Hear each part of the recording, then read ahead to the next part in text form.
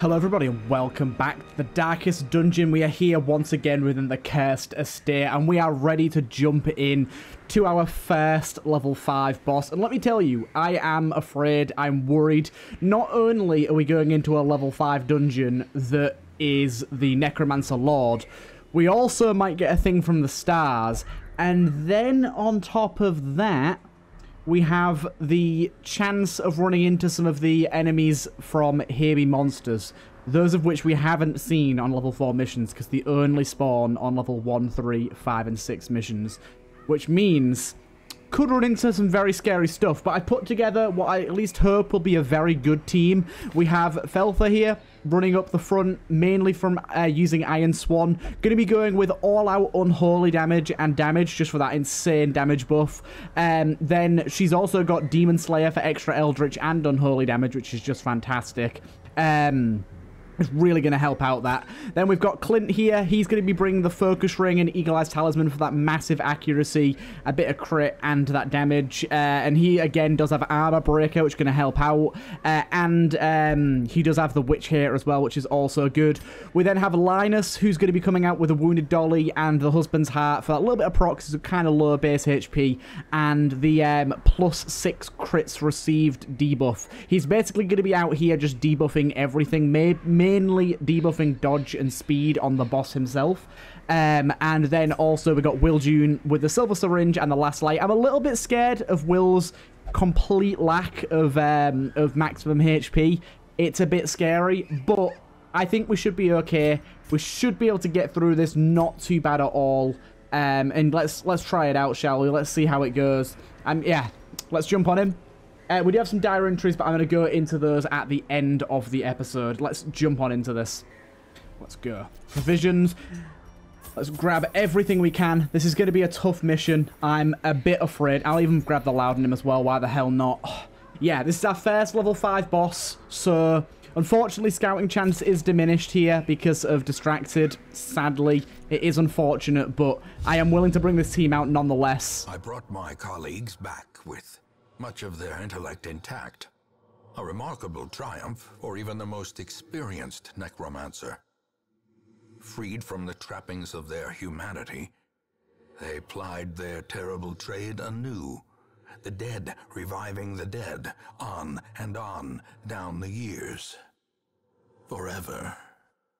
Forever. My god the chills. But yeah, this is going to be tough, and I, am really worried about some of these um, more difficult enemies from the uh, Here Be Monsters pack. They're kind of my biggest concern right now, because we know a few of them can a be absolutely brutal, and we have a few new ones, but we got to just go. go in search of him. Great dodge right off the bat, and also we got some stress relief there just in case for later too. Very nice to see. We should be good for damage here. This group is is very, especially Feltha in the front, should be able to just absolutely annihilate a lot of the enemies we come across. The the big, honestly, the biggest worry I have is Will and um, Linus's small health pool.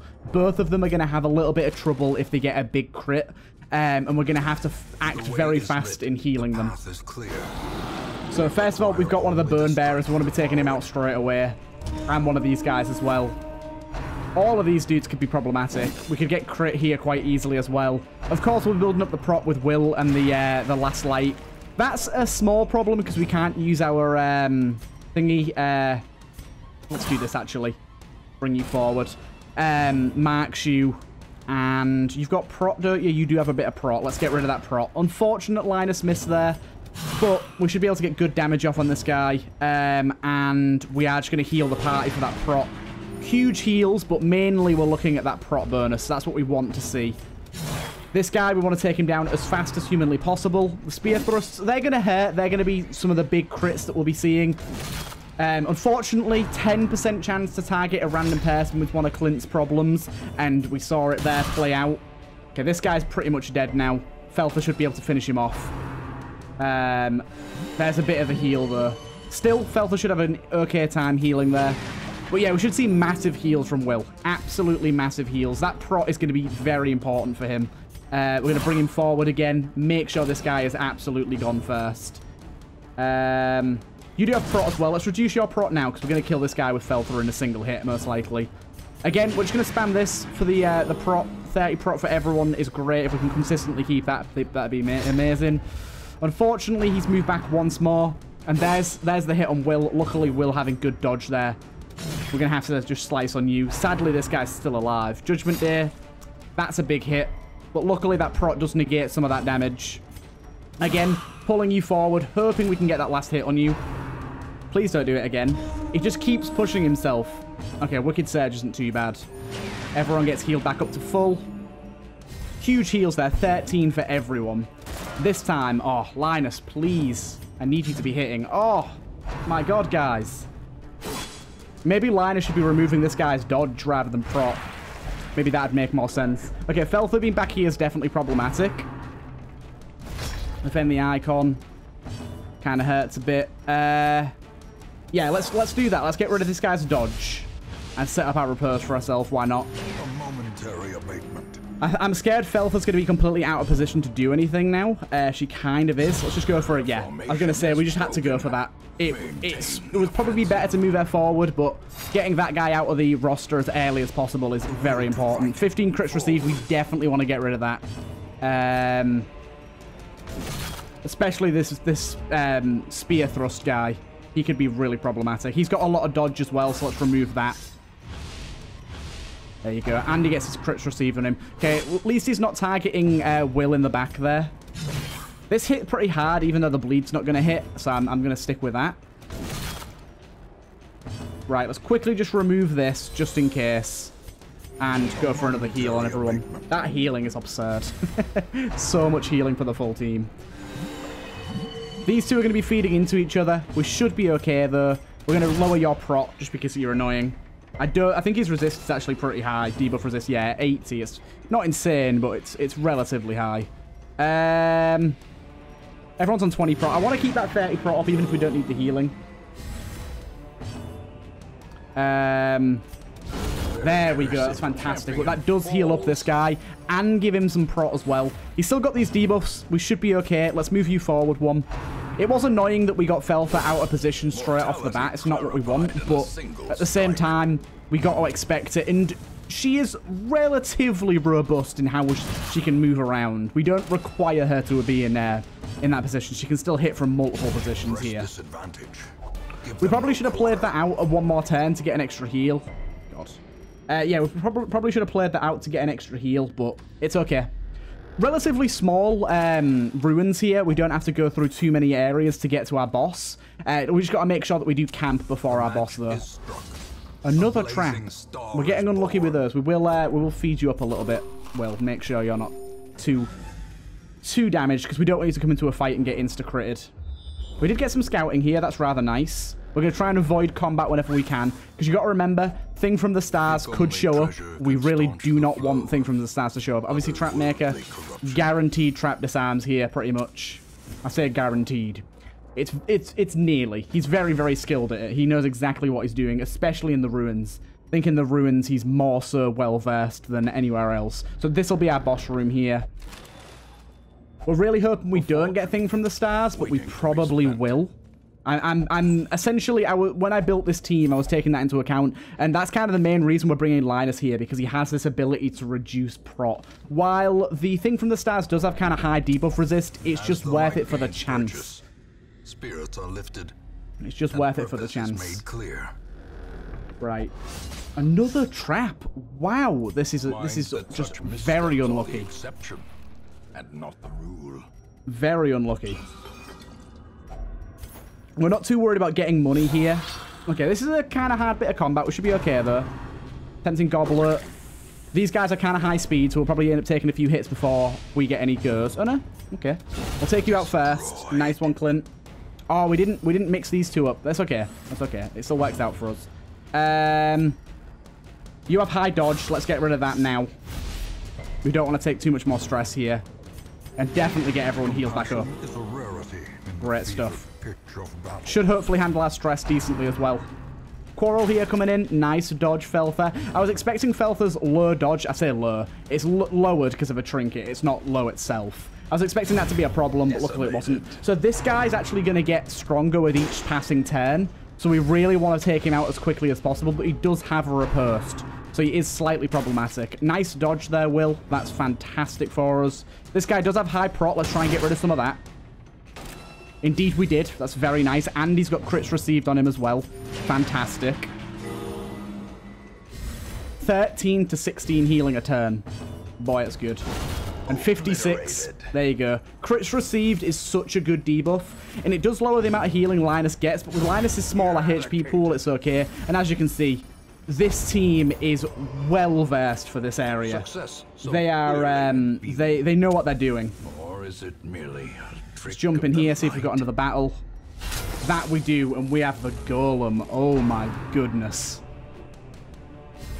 This guy, this guy could be real problematic. This guy is technically a mini-boss, so really want to be careful around this dude. Really want to be careful. Uh, I don't know the best way to kill him.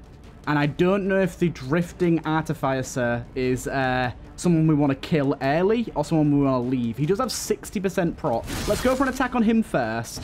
We're going to try and just lower prot as much as possible here. Uh, there we go. That was great.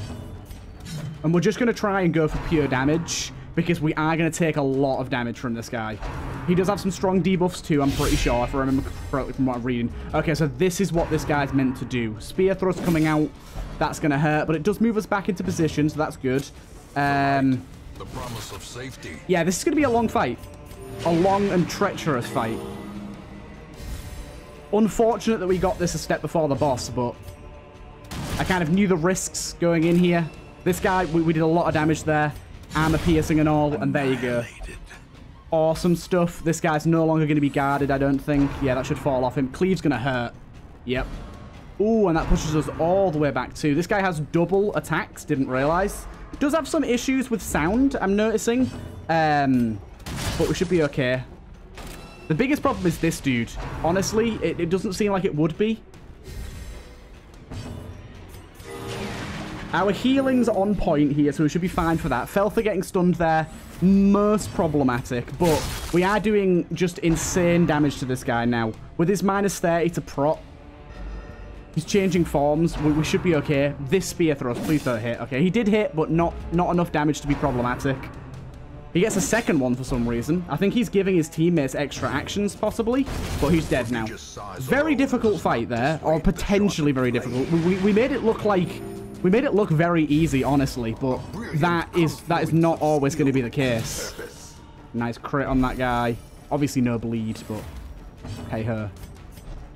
Sadly, we did get our, our, guys mixed up, so we're not going to be able to do too much here. But we can pull him, and yeah, I was hoping that happens. Yeah, that enemy, basically, not not quite, but basically a mini-boss. Uh, so we're going to camp here, um, and yeah, let's camp.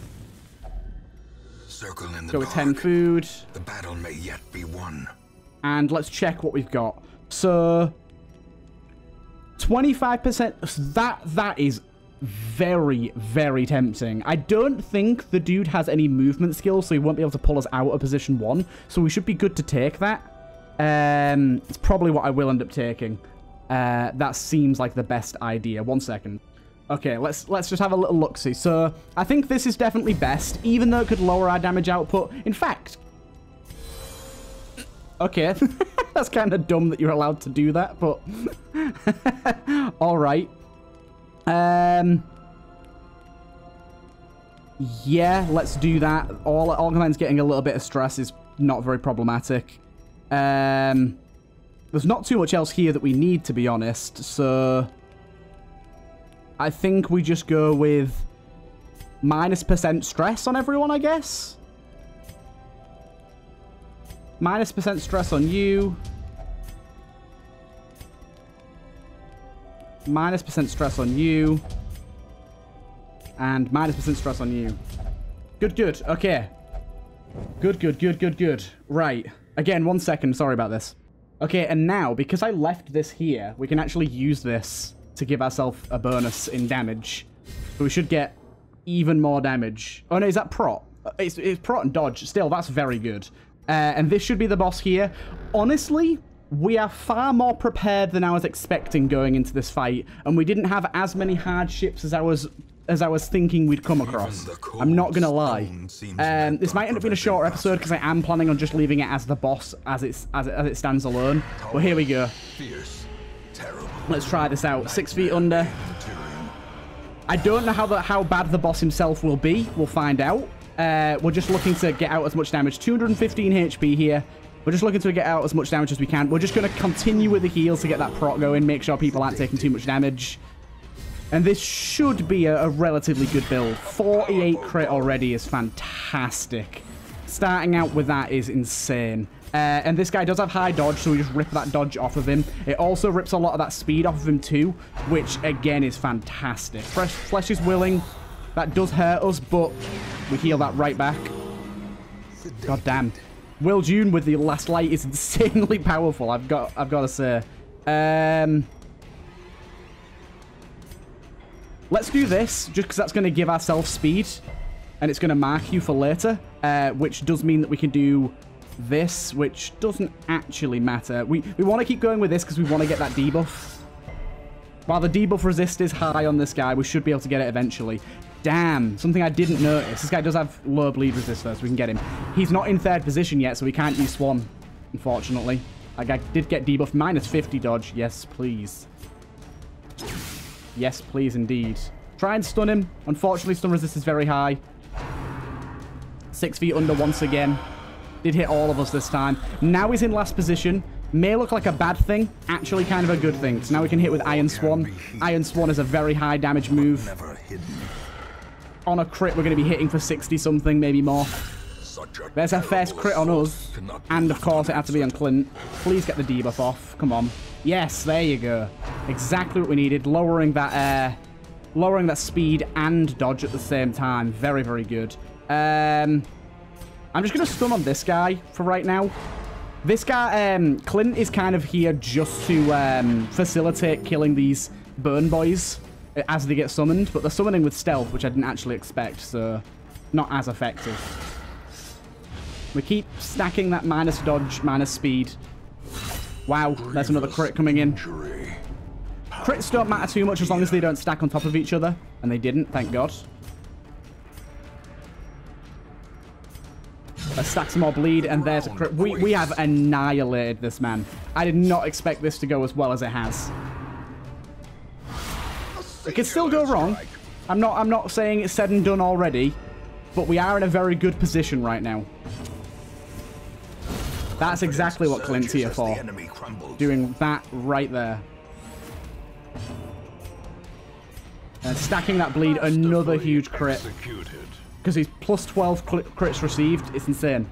The crits received buff, when it stacks, is very, very potent.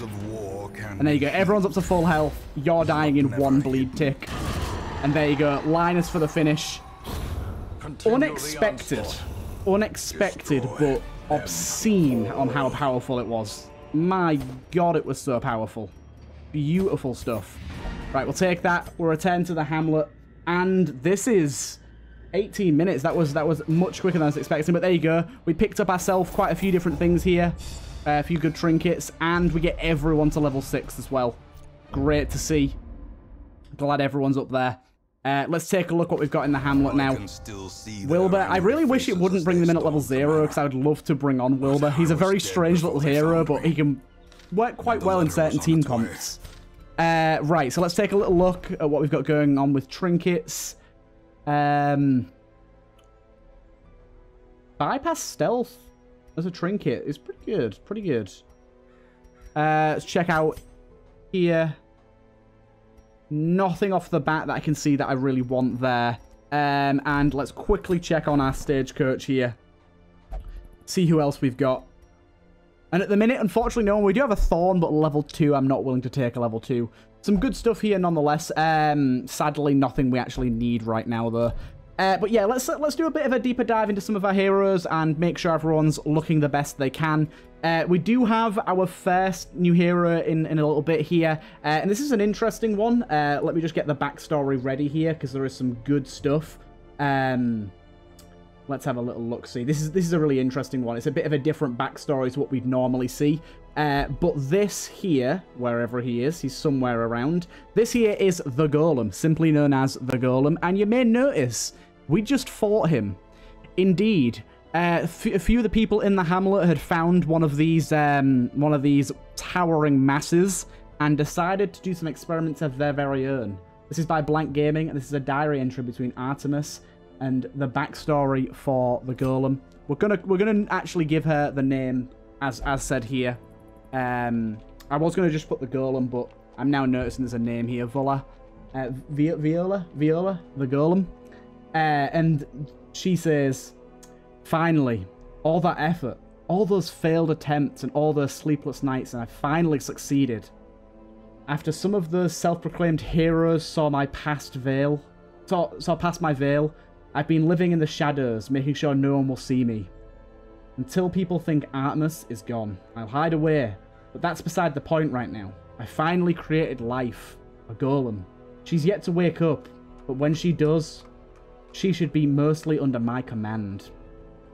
If anyone is planning to hunt me down because they see me as a monster, they'll have quite a fun surprise waiting for them. My only hope now is that none of those bookworms notice the books um, about creating life going missing and being rearranged. That could cause me a few issues. Indeed it could, but here is Viola, our new golem, taken from deep within the ruins and reanimated. Of course, seems like some of those failed experiments, all those failures, have made their way back into the ruins and animated in not quite the most commanding way.